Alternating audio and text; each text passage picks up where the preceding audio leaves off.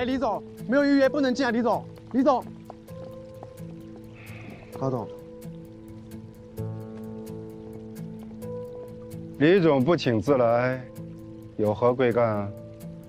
我是来告诉你，我身边的人，一个都不要动。你这是什么话？腿长在苏小姐身上，我怎么能控制得了呢？高总说的有道理，但高总不要忘了，你为什么不姓李？做事不要得寸进尺。这些年平价市场全都给你了，难道你还要跟家上争吗？争什么？争我死后的位置啊！你别忘了，他才是我们李家的人。你知道什么是信任吗？你不知道，否则你就不会来找我。其实你跟我骨子里是很像的，这可能就是无法改变的血缘吧。我们都不会轻易的信任别人，又要求别人无条件的信任我们自己。多疑，就是我们家族的印记。你说，可悲不可悲呀？可悲。高总，你说，一个人连自己的亲生儿子都不相信，到底是谁对谁错？我没想到，你居然会帮他说话。你别忘了，他当年是怎么对你的。我们家上现在是越来越强大了，再也不是那个哭着喊着去找女朋友的毛头小子了。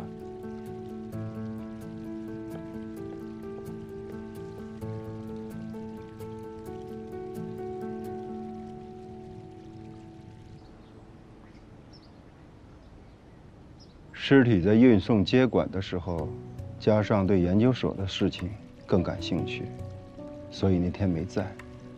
他们走以后给我看的文件当中，数字就已经是八了。喂，想什么呢？一个人？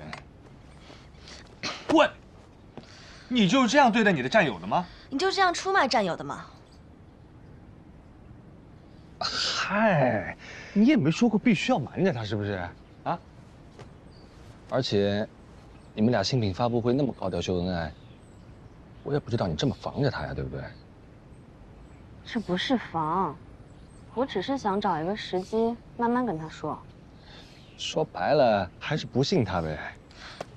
好，好，好，好，好你俩感情的事儿我不多嘴啊。给我一个将功补过的机会。我找到了郑毅当年做法医的工作单位，我一会儿就去实地拜访，谈谈他为什么离职大转行。还算你有点用。哎，我说男人在你心里是不是只有利用这一种功能啊？人不都应该庆幸自己有被利用的价值吗？记得买单。啊？这这还点那么多你？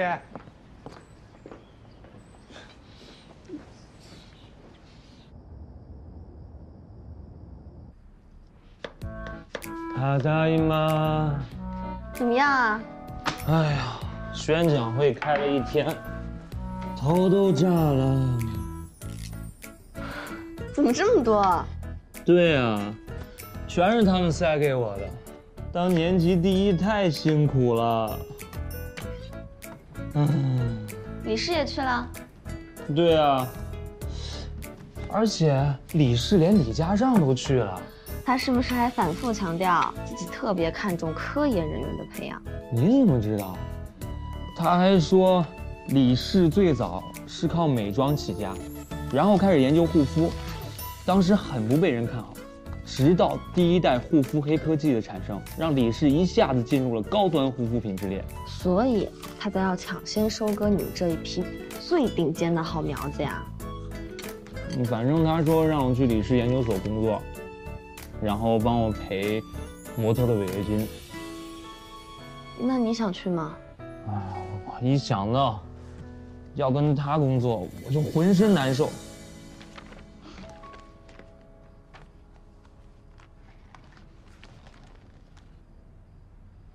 嗯，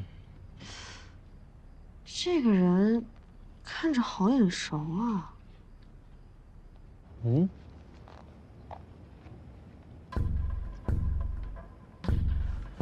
祥太，你看，好像啊，除了这个头顶秃了，眼袋大了。吴林江李氏研究所和姐，这个人既在通讯录里，又在大合照里，所以说明他和我父亲和朱越一样，从李牧研究所成立到关闭，一直都在。这个人一直在李氏研究所，所以说，他肯定知道很多关于穆叔叔的事情。看来得找时间去一趟李氏研究所。姐，还是我去吧，我刚好要在那儿实习，你这么贸然过去，会让人起疑心的。哎，你干嘛？你干嘛啊？刚不是还有一个人说自己浑身难受吗？是难受。实习还得搬宿舍，我不想让你一个人住。洋洋，手术结束了吗？我给你订的餐你收到了没有？一会儿下班我去接你哦。嗯。问世间情为何物，这叫人生死相许啊！你要殉情啊？阿尚，你的幽默感真的比我家洋洋撒娇还要在意。吃完就滚吧。你俩还没和好吧？啊，你自己干还不准我这边爱如潮水啊！你想一下，如果夏夕阳背着你干一些事儿，你怎么想？他背着我干什么事也是帮着你家苏一干。你还是殉情吧。好了，你怪他没有跟你开诚布公，他怪你偷偷派人跟踪双鸭，你俩五十步。笑百步，我的初衷是为了保护他，他也是为了保护你呢。保护我啊！你自己刚刚说了，他瞒着你什么那些真假尸检报告，你说这背后操纵的到底是谁？别说你没怀疑过，如果苏一真的比你大一米七，你敢说自己毫不犹豫吗？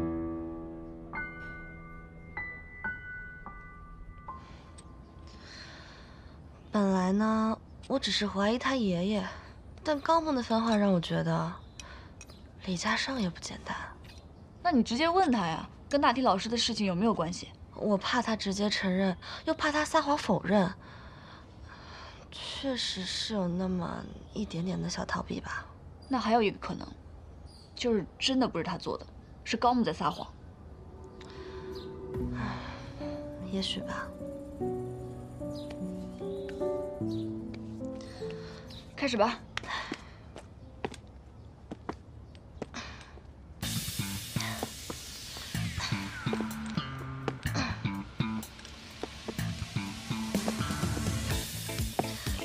但是洋洋，我又觉得，如果高木真像他自己说的那么无辜，又怎么会搞得这么众叛亲离呢？之前酒会上，李董和他跟陌生人似的，李家尚也是。对他充满敌意，搞不好这个高木啊，又是另外一个张副总故意来搅局的。但他又确实帮我在郑一那找到了尸检报告，可能他这么做是故意为了讨好你。你看你之前找过的故人，朱月、楚墨，对当年的事情都避之不及，就这个高木这么积极，难道就是为了跟你父母的旧交情？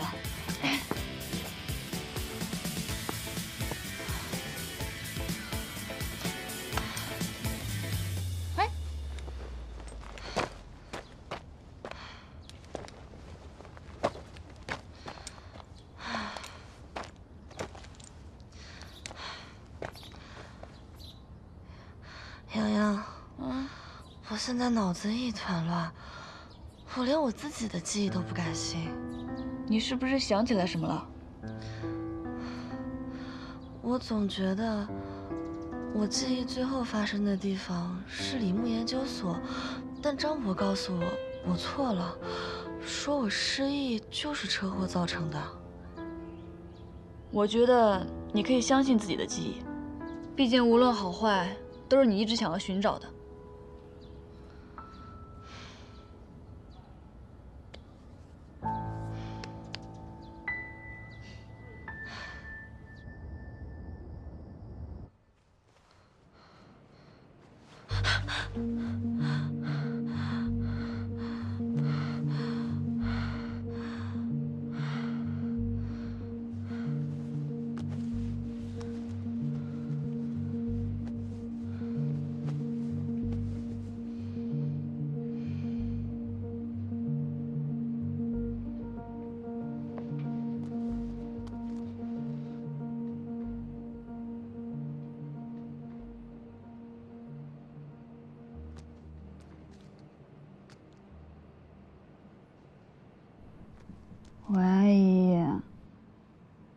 这么晚还不睡，你又做噩梦了？嗯。你俩这一吵架，嫁衣都失效了。怀疑自己活在魔法世界里。可能因为今天祥太也搬走了吧。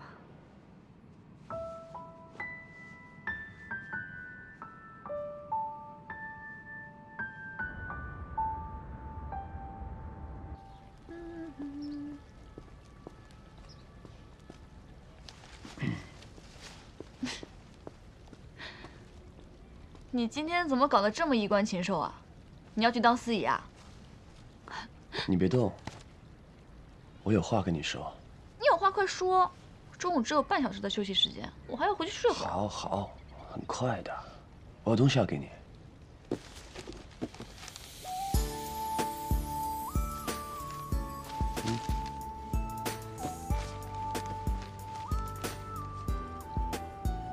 喂，你是不是做错什么了？没啊，我就是。大中午太热了。哎，刚有什么东西掉了吗？什么呀？我看看。没什么。我看看，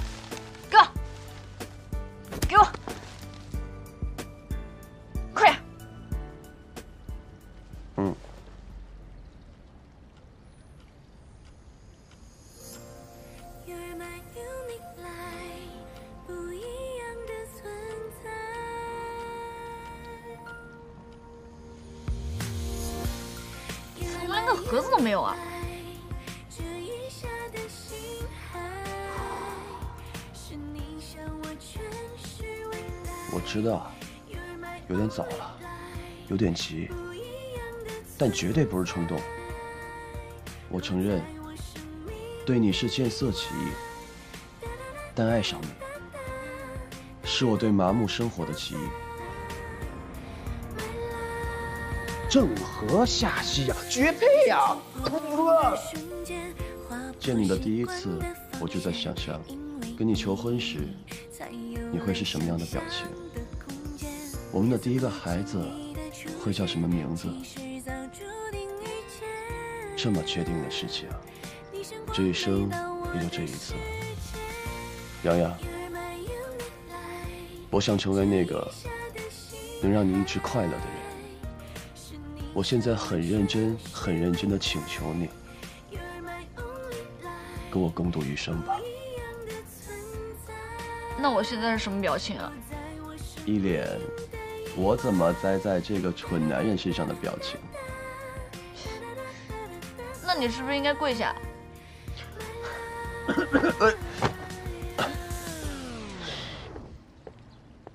丹琪，求婚哪有什么机会？丢人！啊，对了，您怎么还不走啊？周五晚上回家吃饭，记住带上儿媳妇。那小媳妇儿，那周五晚上去不去吃饭啊？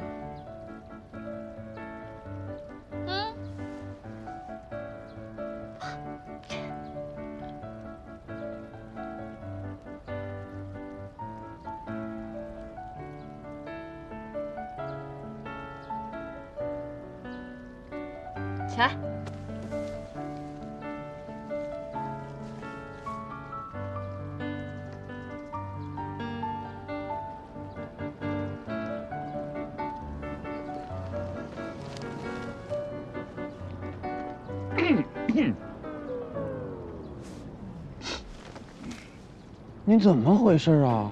哎，我说臭小子，你还没答应我呢，你也不想想，你多久没回家吃晚饭？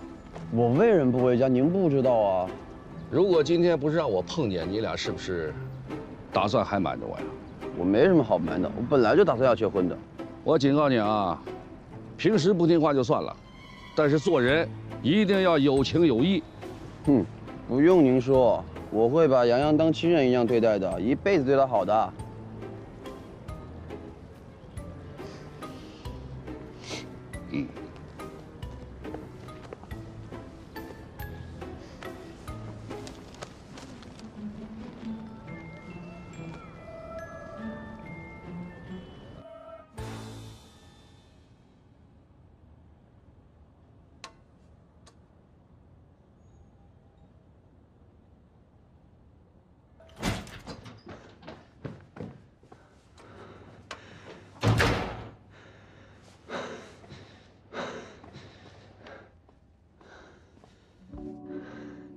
骚扰你的人呢？刚刚被我吓跑了呀，你晚来了一步。根本就没人骚扰你吧？有啊，你这不是来了吗？哎，你别生气，我真的有事找你帮忙。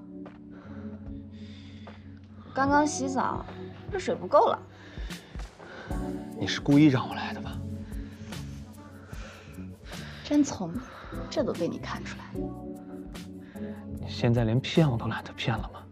我为什么要骗你啊？我就是想告诉你，我现在每天去理事看不见你，我很不开心。我想看见你，所以我马上就想看见你。你们有钱人是不是闲的？折磨别人很快乐吗？大晚上的，我从研究所过来，以为你真的出事儿了。二十公里路，我只用了二十多分钟。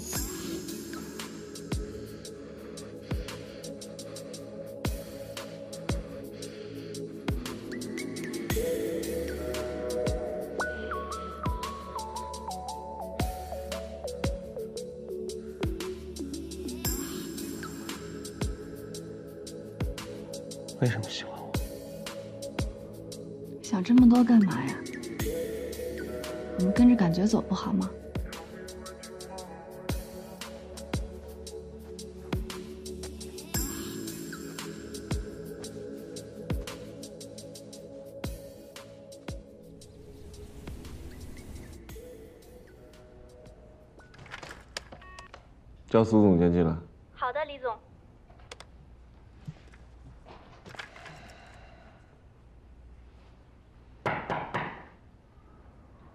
进。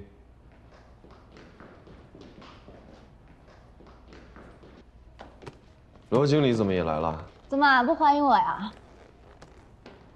李总叫我过来不是汇报工作的吗？我就想着和罗经理一起啊，正好我们很多看法都是我们一起讨论的。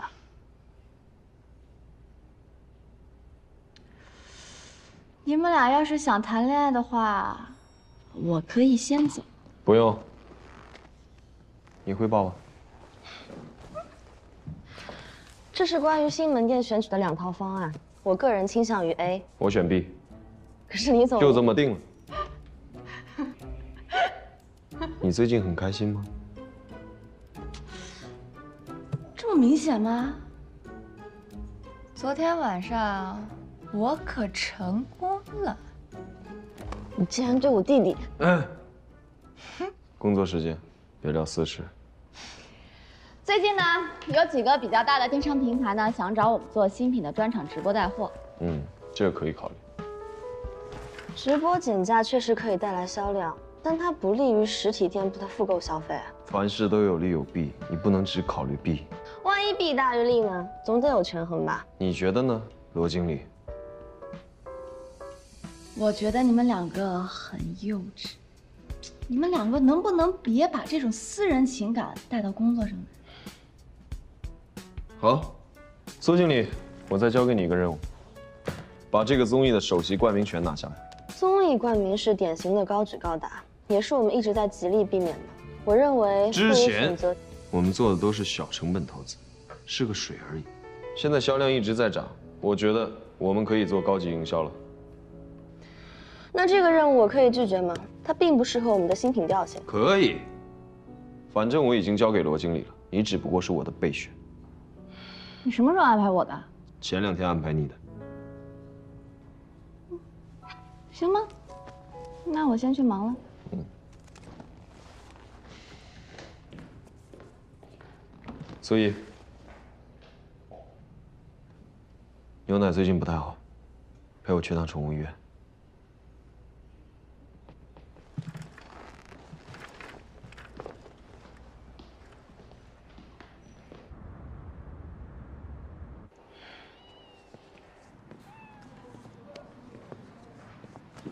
怎么样，大夫？呃，不太乐观啊。这个猫咪呢，平时喜欢用舌头去梳理皮毛，但是被吃进去的毛屑是很难通过排泄或者呕吐。那它现在是不是很难受？哎，是。这样吧，我一会儿去给它喂点止疼药。呃，明天你们再过来把它领走，好吧？哎，哎，大夫，麻烦你帮我把这个给他。好的，嗯，谢谢。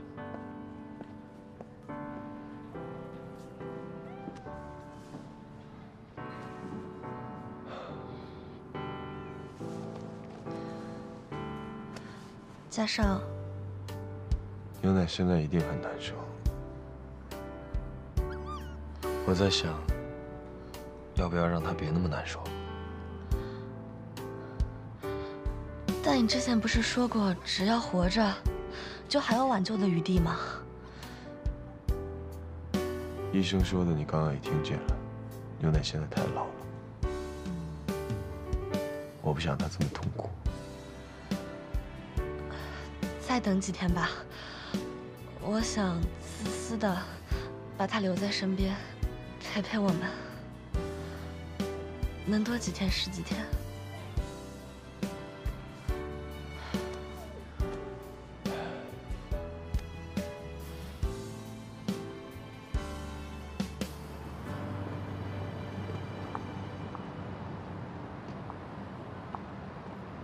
关于冠名权的事儿，我想过了，刚刚是我考虑不周。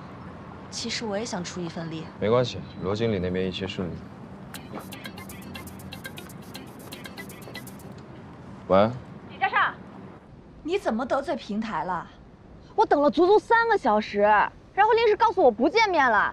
没有这么逗人玩的，自己烂摊自己看着办吧。看来还是有点挑战啊，李总。要是那么容易的话，我就不让罗经理亲自去了。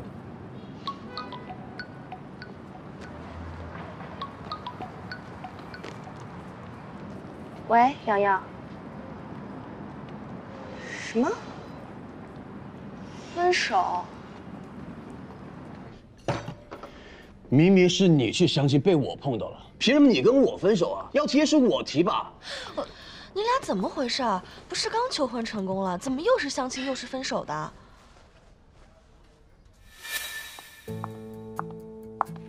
坐。夏医生，你是郑恒的女朋友吧？你手上这个戒指好漂亮啊，他买的吧？好巧呀，我也有一个，就前两天逛街，他刚给我买的。郑和这匹野马习惯了四处奔腾，任何一个自以为可以驯服它的人，到最后都会像我一样，摔得鼻青脸肿。你们看看我这头顶，比股票熊市还要绿。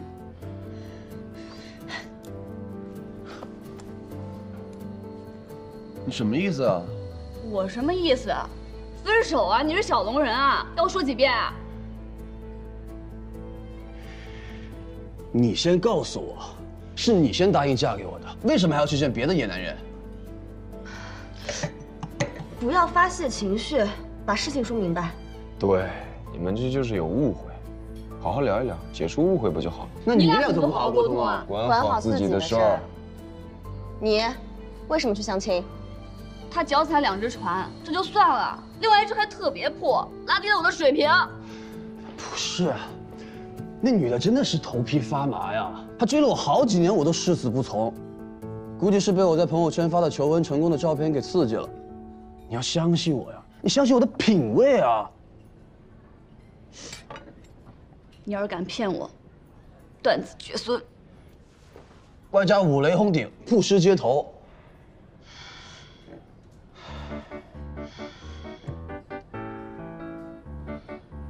洋洋，以后你有任何怀疑我的事，你直接来问我，删我都行，你别自己瞎想，更不要轻易的单方面的放弃我，行不行？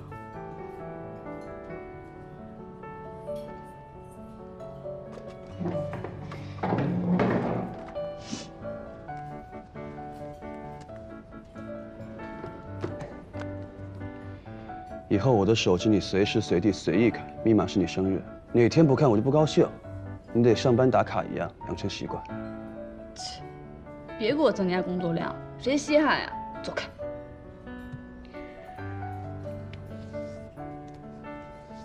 我是真的不怕你作，我就怕你对我不作。你说谁作呢？要是换别人，不至于天天着急上火了吗？对对对，只就是我，是我身在福中不知福。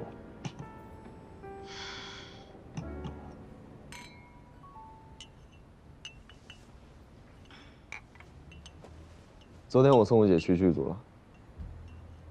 嗯，她跟我说了你回国的原因，那些疑点，确实跟李氏脱不开关系。你还跟她说，说你回国的意外之喜是我，还不舍得伤害我。我可没说过这么矫情的话。你不要认为自己的心思被我看穿就输了，反正一直都是我爱你更多一些。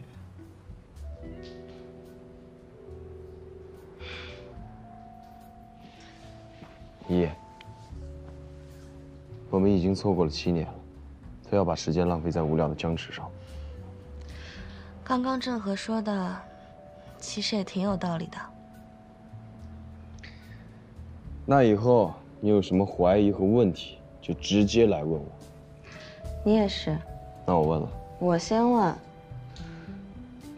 为什么派人跟踪我？我那次见你在明秀门口差点被车撞，我就以为你被别人盯上了，我当然要派人保护你。嗯，到你了。为什么去找高木？我总觉得他还知道些什么，不问到山穷水尽，我不甘心。哎，原来说真话是这么简单。对我们俩来说，好像是挺简单。我知道这些年你习惯了独来独往的自由，但现在你不是一个人，我希望你也能习惯我。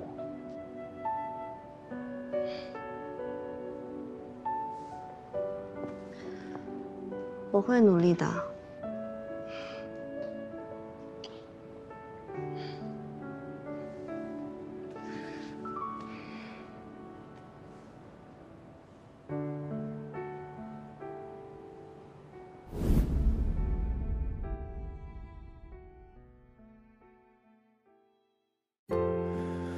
时间把岁月追赶一场梦，从此变得行色匆匆，都还在向前走，彼此却没有了肩并着肩的温柔。不是所有联络都是龙，不约而同，言不由衷，只能做彼此的观众。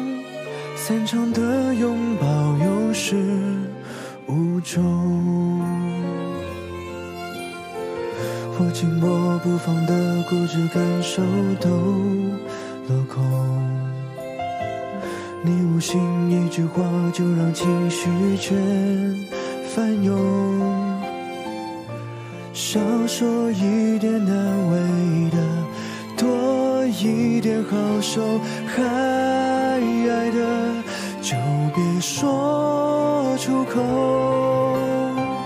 只怪我不懂得怎么唱这首情歌，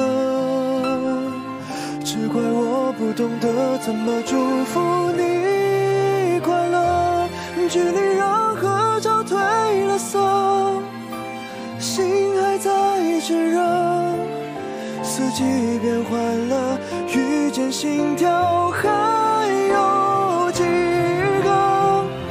只怪我不懂得太爱，却失去资格。只怪我不懂得距离像一条银河，在环游的列车。